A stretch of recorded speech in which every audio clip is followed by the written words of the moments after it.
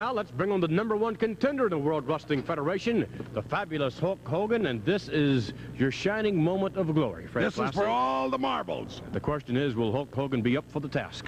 Will he be up for the task? Take a look at that man. Have you ever seen anybody in better condition? Never.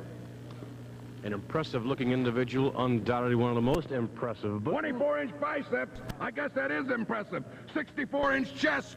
6 foot 8, 320 pounds. 38-inch waist. 36-inch thighs.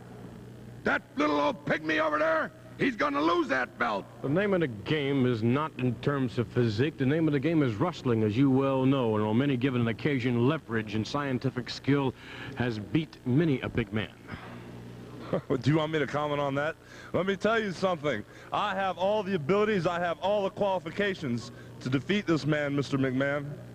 Bobby Backlund, I will never cut you short. You are one of the finest athletes in the world today. You are a respectable champion. The people have looked up to you for a long time. But I have trained long and hard. I have every advantage, psychologically, physically.